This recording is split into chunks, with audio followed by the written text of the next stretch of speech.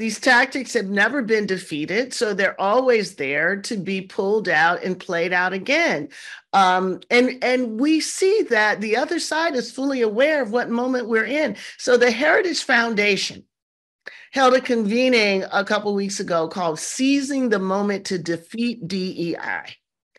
Um, for them, DEI is a cancer uh, they want to excise it through attacks on higher education and DEI professionals. And what they mean when they say DEI, let's be clear, is really all social progress, the entire infrastructure that was created from 1964 and on. Concretely, I mean, just to be clear about it, um, they've got this project called Project uh, 2025, the Heritage Foundation. Mm.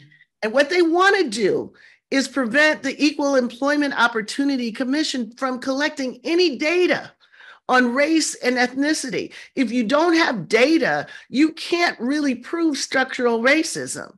And on top of that, they want to eliminate the ability to even use the law to make a claim of discrimination through disparate impact. And for some, they want to entirely eliminate protections from employees uh, for discrimination based on sexual orientation and gender identity. In fact, they want to expunge very terms like gender equality, DEI, abortion, reproductive rights from every federal rule, every regulation, every contract, every grant.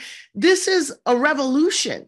And just to make sure that they can make it happen, they want to fire thousands of federal employees in the civil service and replace them with loyalists. Now, I don't know how many people were reading the news today, but what the GOP has now done is they, they fired everyone and you can only get rehired if you go through an interview in which they ask you if you believe the lie that the election was stolen so this is it people were on the edge of you know serious authoritarianism um, dare i say fascism and it's coming through our Achilles heel, uh, which is racism.